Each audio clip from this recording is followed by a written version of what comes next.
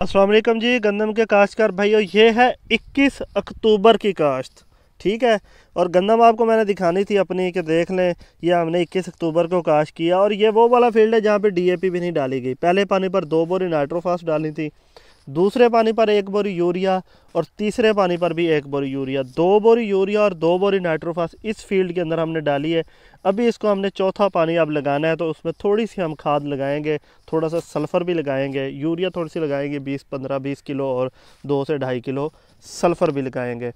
तो बाकी बहुत सारे भाई कह रहे थे कि अक्टूबर काश गंदम हमारी जो है ना, वो जी ख़राब हो गई है।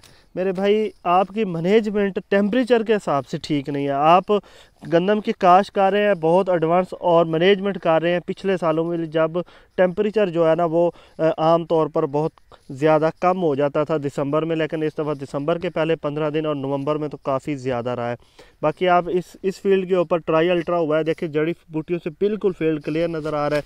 वो जो साइड है, वो एकड़ जो है ना, वहाँ पर हमने किया है एक्सल और एक्सल से। वो देखें आपको थोड़ी बहुत दुम्बी सिटी के कोई कोई अब पौधे ऊपर निकल रहे हैं, जो कि यकीन देखने में बहुत ही बुरे लग रहे हैं, लेकिन अब क्या किया जा सकता है? ट्राई अल्ट्रा किया तो है, लेकिन शायद ट्राई अल्ट्रा अब इतनी बड़ी दुम्बी सिटी को सही तरह शायद ना मारे।